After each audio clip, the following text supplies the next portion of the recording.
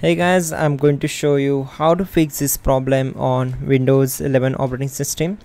In the first step, simply go to search bar, then type in CMD, right click on it and select run as administrator. On this window, we need to execute some commands. So type all these commands carefully and simply hit enter to execute them. In the first command, type sfc slash scan file equal to c colon slash windows slash system32 slash iframe.dll and simply hit enter. Then type sfc slash verify file equal to c colon slash windows slash system32 slash iframe.dll and hit enter. Then type exit to close the command prompt window and simply open run and type here temp then click on ok. Now select all these files and delete them. Once done close this window again open run. Now type percent temp percent. And click on ok.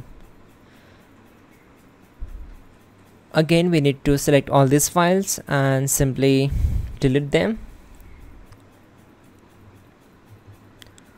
Once done close this window. Again open run.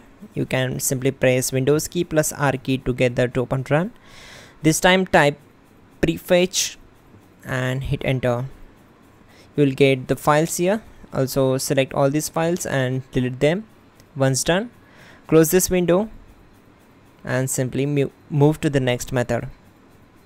Go to search bar type disk cleanup then go here. Once once you are here we need to select the files which I wanted to delete. For example temporary file recycle bin and etc so delete all the files. Just go to search bar and type here file explorer. Once we are here we need to select this pc then open c drive then open windows folder. Now find out system32 folder. Simply double click on it to open it. Then find out game bar presence writer. Simply right click on it select properties once we are here we need to just go to security tab then select advanced options. Now click on change select advanced then click on find now option. From here you need to select your username. To check out just click on the start icon and here you will get your username. My name my username is node a13 so i will search it here okay here it is. Select it. Click on ok. And then click on ok. Once done just click on apply.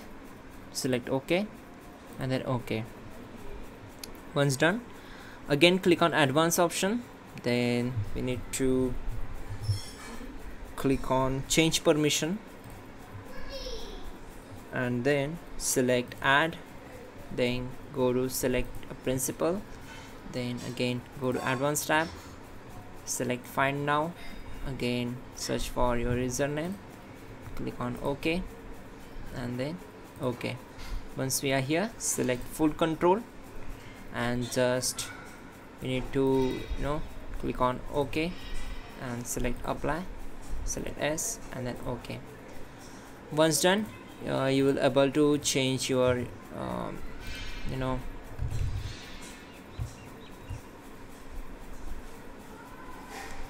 able to rename this game bar presence writer simply right click on it select show more options and click on rename. And add something after game bar presence writer. For example i am adding a b c and you need to hit enter. Once done close this window simply restart the system and your problem will be solved. That's it guys.